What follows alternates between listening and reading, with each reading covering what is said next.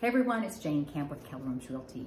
Today I will be giving a recap of the 2023 real estate market as well as holding our annual referral drawing.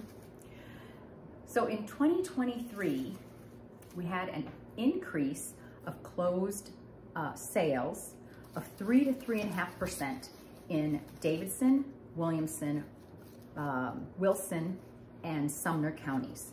And then in Rutherford County, the closed sales was 2.5 increase over uh, 2022.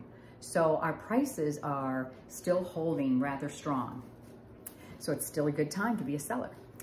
And on the buy side, uh, interest rates in the past three to six months have dropped a good bit and now are in the low sixes. So it's a good time to be a buyer as well. And uh, they're predicting that 2024 is going to be rather solid since the interest rates have dropped. And with inventory still being rather low in many of the price points, um, it could be a uh, more of a competitive market again. So um, it's a good time to buy and sell. So that's the update. And now for our annual referral drawing. So first of all, I want to thank all of you who have supported us throughout the years and especially in 2023.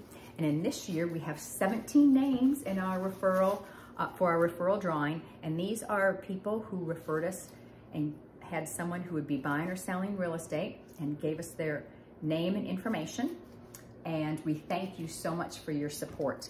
And the winner of this drawing will receive a $200 gift card to a restaurant of their choice.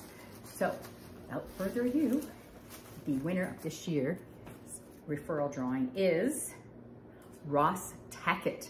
Congratulations, Ross. We will connect with you and get you your gift card. And so how do you get into this referral drawing? So in 2024, you know someone who may be buying, selling, uh, investing in real estate, if you tell them about us and then give us a call with their name and contact information so we can talk with them about um, meeting their goals and um, helping them out in 2024. Thank you so much. And if you have any questions about real estate in our local area, we would love to help out. And uh, we so appreciate you.